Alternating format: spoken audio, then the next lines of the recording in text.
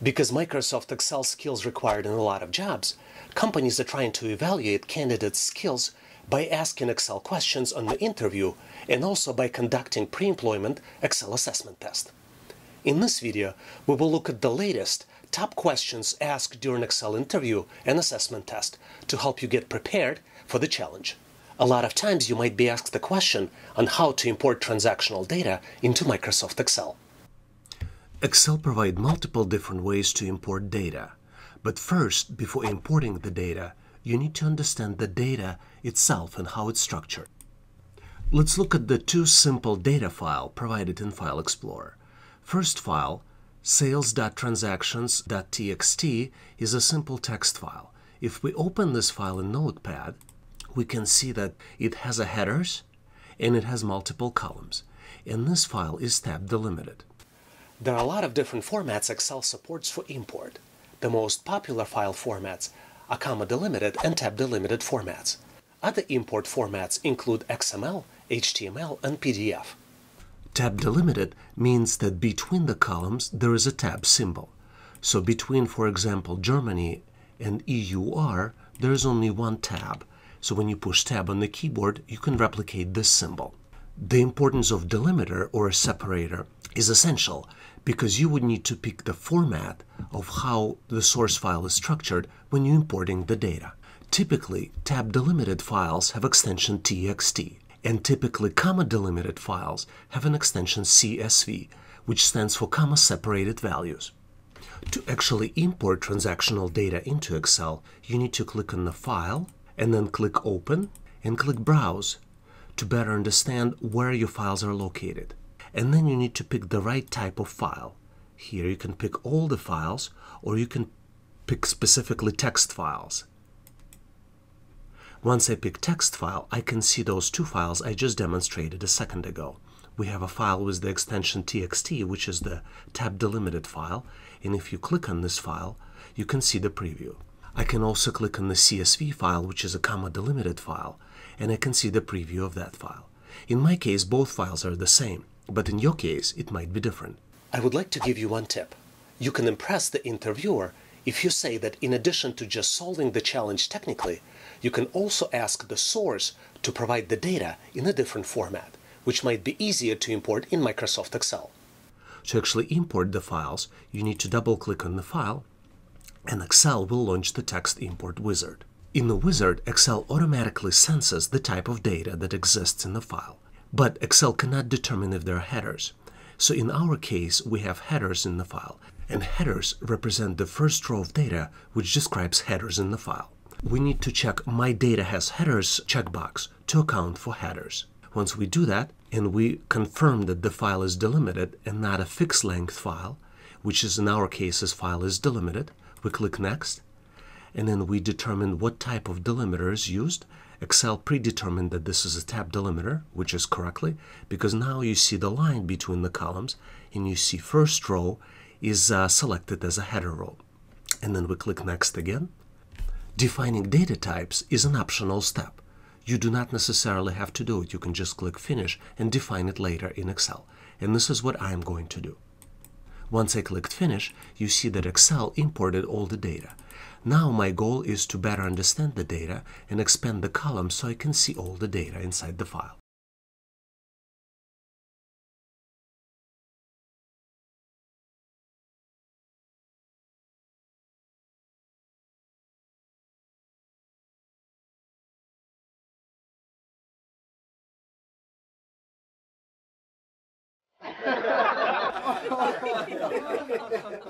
Very frequently, you might be asked to demonstrate your knowledge of conditional formatting in Excel. Keep in mind that questions might be asked specifically related to conditional formatting, or they also could be asked as a business question. For example, you might be asked to highlight all transactions with negative profit margins. To do this, you would use conditional formatting feature in Microsoft Excel. For example, the question might be, how can you quickly highlight all transactions with negative profit in Excel? To do that, you need to better understand the data. To better understand the data, you need to understand the columns and the meaning of each column in the source data.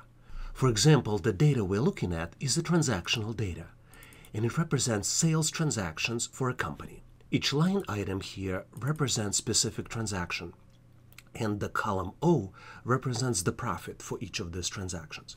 If we scroll down, we will see that most of the values are positive, but there are some negative values here, which we would need to highlight through conditional formatting feature of Microsoft Excel. To highlight all transactions with negative profit, we first need to select the data. Once data is selected, on the Home tab, there is a conditional formatting feature, and in our case, we will be highlighting the cells, and we'll be highlighting cells with the values less than specific amount. Our specific amount is zero. By default, Excel calculated something else.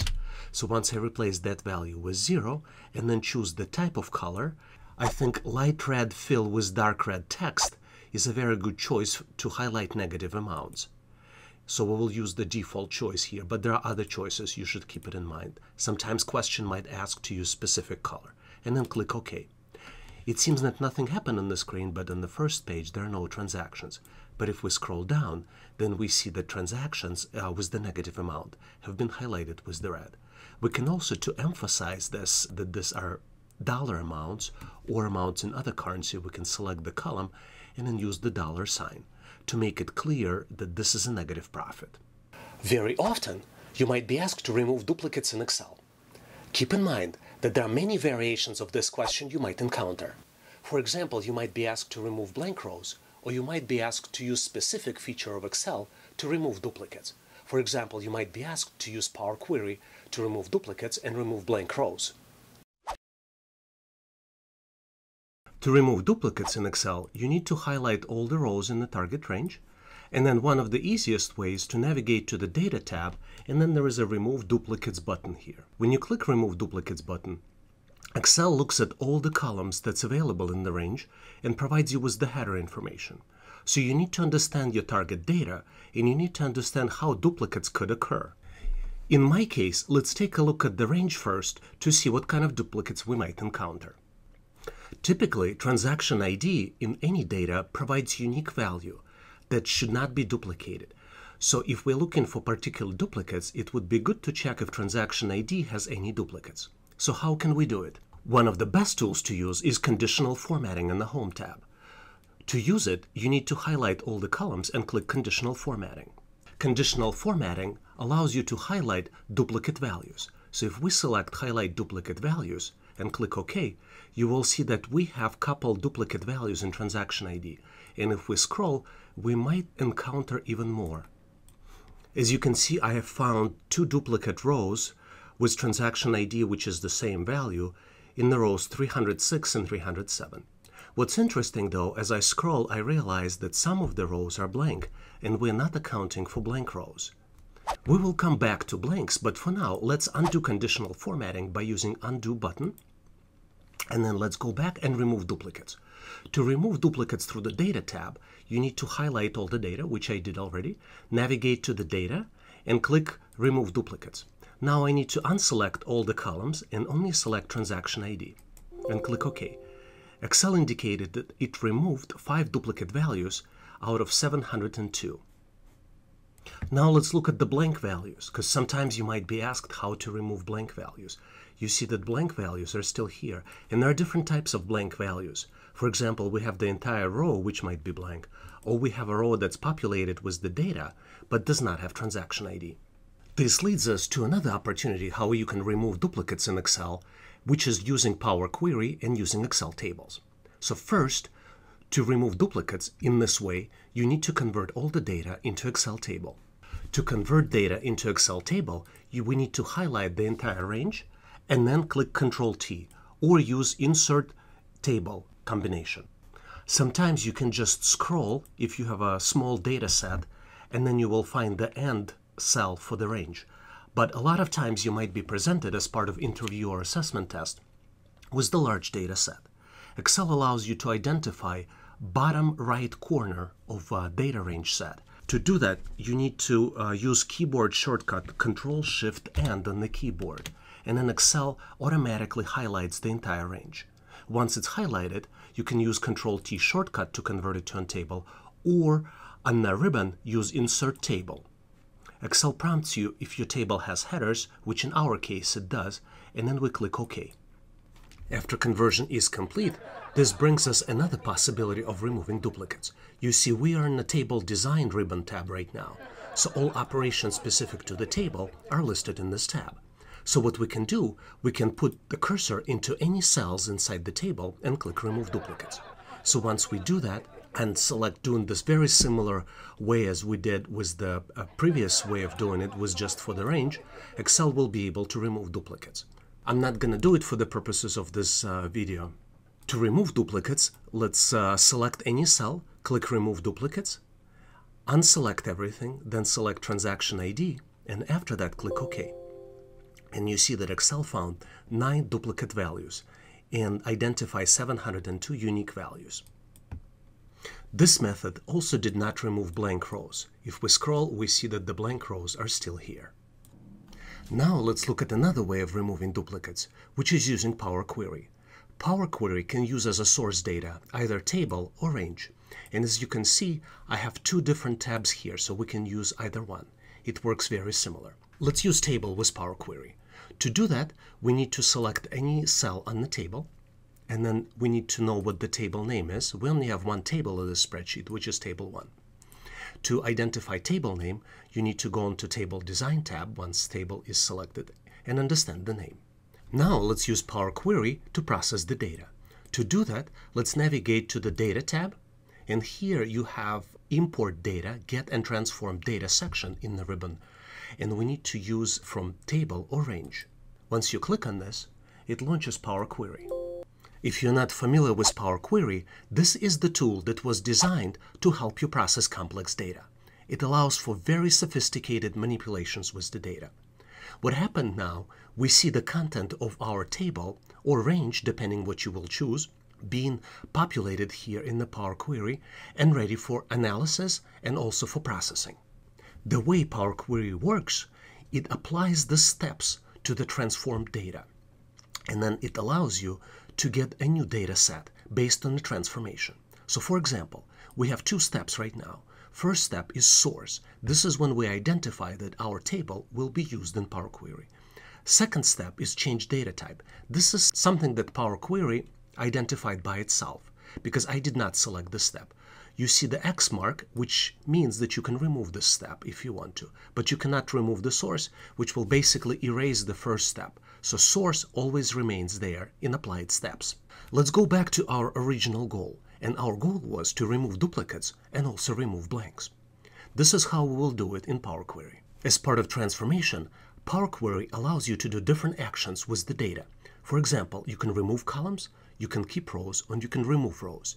In our case, we need to focus on removing rows because this is what it means to remove the duplicates. If we click on Remove Rows, we have multiple options. One option is remove top rows, bottom rows, or alternative row, which is not what we're looking for, but we should be focusing on removing duplicates and then removing blank rows. To accomplish what we're trying to do, we need to do two steps and two processing operations. In the first one, we will click Remove Rows and click Remove Duplicates. And you see that uh, Power Query added an additional step called Remove Duplicates. In the second step, we will do the same thing, but we'll remove blank rows. Now our processing is done and we can close Power Query and load the processed data into the new tab in Microsoft Excel. To do that, let's click Close and Load. And you see that Excel created a new sheet, which is called Sheet 5 right now, which has all processed data from the Power Query. Sometimes you might be asked how to sort and filter data in Excel. Since data in Excel could be stored as table or as range, we will look at the both options and how to sort and filter it using both options in Microsoft Excel. Data could be sorted and filtered in Excel based on how it is stored in Microsoft Excel. Since data could be stored as a range or as a table, it will be processed differently. For example, to sort and filter data stored in the range, all you need to do is select the top row, assuming that you will have headers for the data range in the first row. And then all you need to do is click Sort and Filter and then add a filter. Once you edit a filter, you will have different options of how you would want to process the data. For example, what you can do, you can uh, select sort A to Z, sort Z to A, sort by color, uh, and use a lot of different sorting and filtering options. You can apply this uh, algorithm to any column as long as it has the header and as long as it has this drop down, which is automatically added once you add a quick filter. If your data is stored as Excel table, which could be verified when you click on any cell, and if you see Table Design tab added, then it means your data is stored as a table. And typically you can navigate here and see the table name in this tab. When data is stored as a table, you automatically have the drop-down boxes for sorting and filtering added, and you can just use them inside Excel table to process the data and to do sorting and filtering. And now let's look at the very typical question you might get as part of the interview. What are the differences between Microsoft Excel 2019, Excel 365, and Excel Online? Microsoft Excel 2019 is an electronic spreadsheet program installed on your computer. When you buy Excel 2019, you pay one-time license fee and you own the software. Excel 365 comes as part of Office 365 subscription you pay monthly fee for subscription and you get software as a service package. With all the latest updates and cool new features Microsoft releases regularly. One of the big benefits of Office 365 subscription is that as long as you pay subscription fee, you will always have access to the latest features of Microsoft Excel. Excel Online is used in the web browser to create, view, and edit Excel workbooks. To store Excel documents, you can use OneDrive or you can use more sophisticated subscriptions used by the businesses. After you've created your online workbook, you can share it with specific group of people or make it public. People can view and access your workbook. They can edit, sort and filter data and drill into details of pivot tables and web mobile features. Excel Online is not as sophisticated as desktop version of Microsoft Excel and typically has less features that's available in the desktop applications. Thanks for watching. Hope you've learned something, and if this video made you smile, it means I did something right. I wanted to share with you that I've been unemployed myself many times in my career and know how stressful it is to look for a job. One of the most helpful things for me was maintaining positive outlook on things. I wanted to give you a boost of energy in your journey of job search and getting ready for the interview and assessment test. If you like this content, please give this video a thumbs up, share with your friends, and consider subscribing to this channel. Thanks again for watching and I'll see you in my next video.